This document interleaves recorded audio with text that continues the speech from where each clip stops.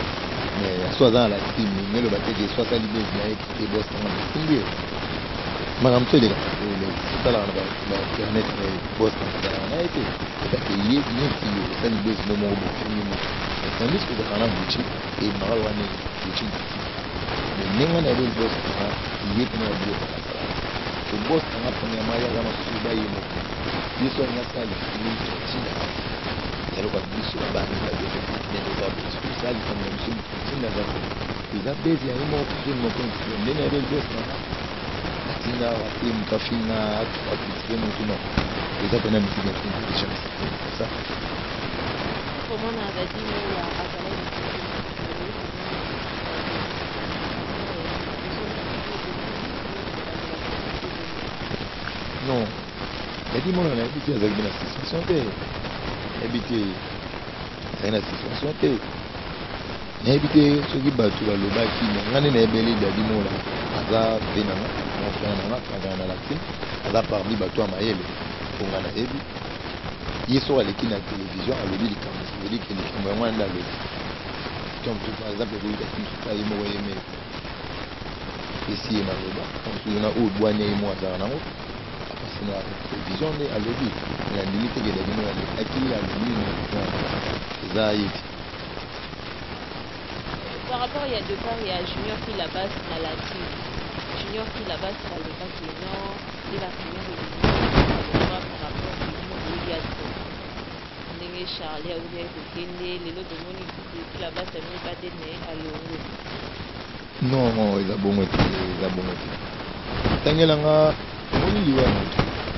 Pesela nga moto na liwa te. Liwa eza pona yango eza bokata. Mais le mosango ye. Biso ba glodi oyo toza pena ya bakulu. Batengela biso nini? Nani oyo bayebi ke liwa moko ya pene na kati ya boss na ngai Christian Watanabe oyo kete akufi alataki elamba moko boye asaki boye non oyo ngai nayebi etaki nga glodi non te nayebi soki frère na biso charlie toto nongo ya koza mpe esika azali molimo ekoma na kimia ezali na nzambe kosa nzambe na bosi na nga te soki kila basi mokolo baye bongo moni eza babege ya kila basi mokolo azoloba bongo me ye soko oloba bongo eh, na oblete oblete seke moto ezaka motu akokoma nzambe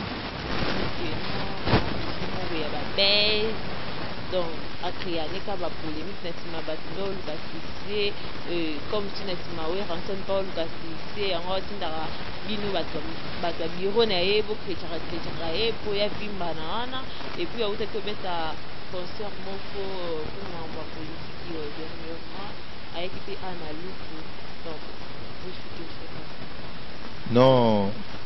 bon est ce que bosi na nga banda longwa maison mère ti lelo azalaka héritier ozana akita te amata te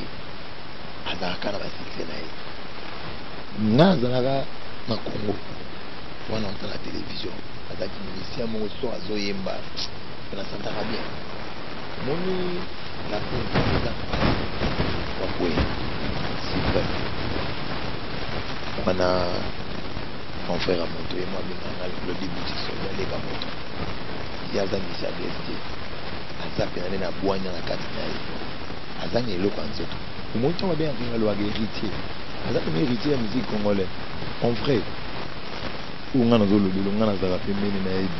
ye aza musicien bien te ye aza pena musicien quand je parle de musicien soki batie parmi ba musicien ya congo bayembi moko aza ayebi koyemba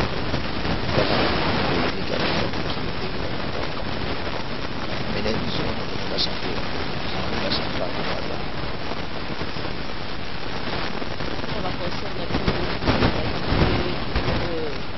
na makambo ya politike il y avait beaucoup de missions au Congo mais tomoni kaka bazali moto abeti kuna na non eza kaka lokola omoni bos na ngai nalobaki déjà ke baprésident wana nyonso tu eza na biso bavital camere eza na biso kisekedi mo président chichi donc baza bavie ya bato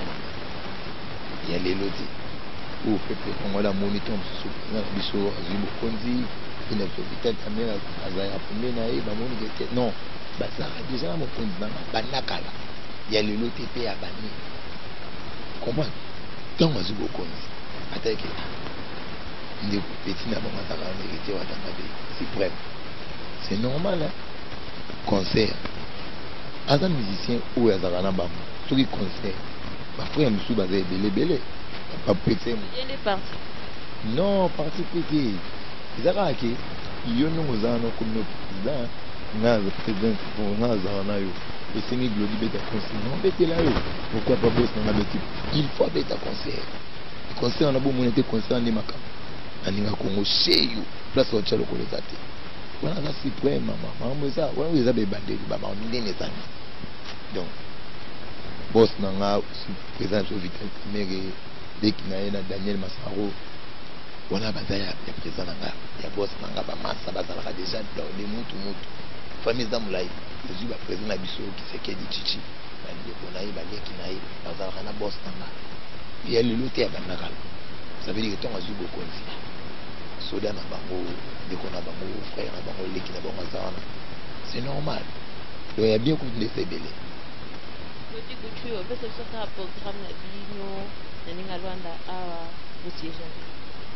non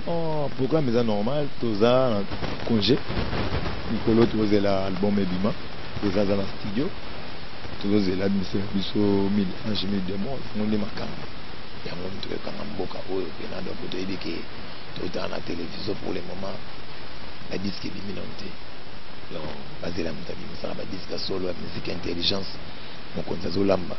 ntango biloko ekobima na lobeli yo mboka ekoyina pour le moment tozoyoka nano te ke musicien moko abwakaki album donc pour le moment album eza te na marché mais tozalaka suprême mais pour le moment toyokaka la reine de saba na retirada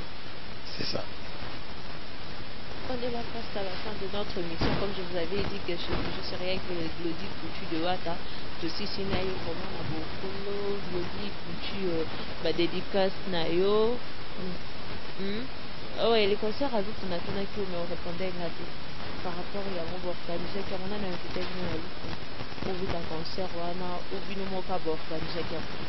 non moni concert ya lufu ezalaki concert moko wana ezalaki concert ya fin de l'année ya 2019 ya 2018 concert wana yebiso ezalaki somo première fois nga mpe nakende lufu nayoka lufu lufu lufu mais niveau mokonzi na ngai ayemba na concert ya lufu wana jamais vu mama na ma bijou selemani ayemba mama osola oyo nave na ngai lepi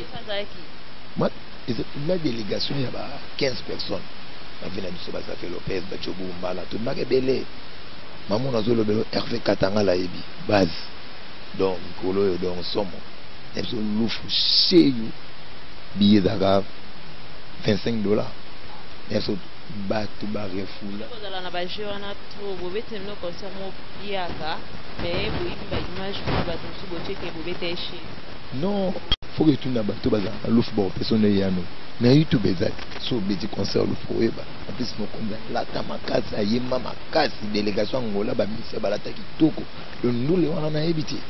don osenga prochainement soki nzambe akobandelaka makambo do toyebi ke so ndule mosu etombe na lufu okomona po totikaka na ndule ya ndenge angola citadela kasi oyebi ke te kala mingi te mokonzi abeta citadela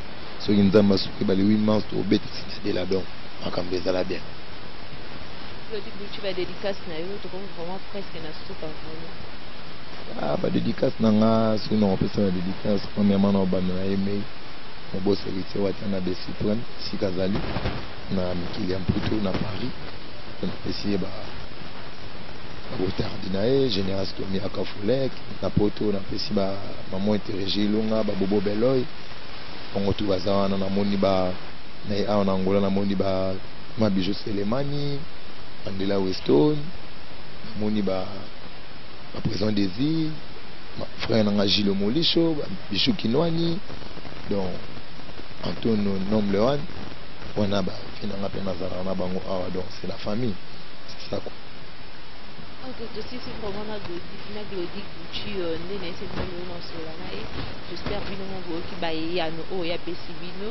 Donc bo s'abonner vraiment ebele na site na biso Congo Dialogue de Francine Ngembe. Boza desi te bokuta ba information sur et certain. Glody Butu euh, contact na yo et puis euh, bato oyo pe baza na posa bakota pe na groupe na bino ya la team bazala kaka contacte.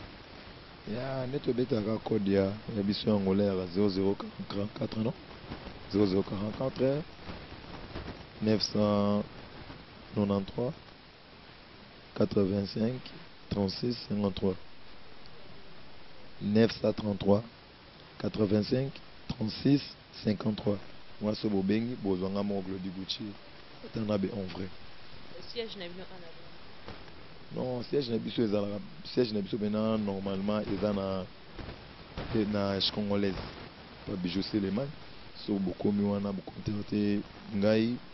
Bokomona ma Bijou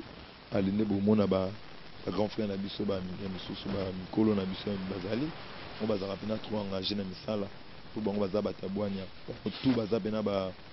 ya ba mboka oyo ba roulaka mingi mingi batu baza ba travaillaka pena na ba societe moko pena eza dire Ça veut dire que makambo etali jeunesse nde omona nga moko Glody Gucci na zalaka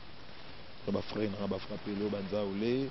donc bango bayebi makambo tout ko fonctionner nde to solola na ndenge ya Latine na ndenge ya Angola donc c'est ça. Ok on est là vraiment presque à la fin nde na esali vraiment to silisi na. Kolo euh nde na belle lelo tozalaki wana vraiment na glody gucci de wata tosoli ne vraiment ce qui était vraiment important pona la team j'espère bino mo boyoki ba réponse na ye c'était vraiment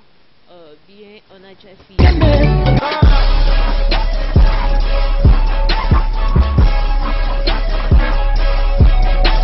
congodialogue.com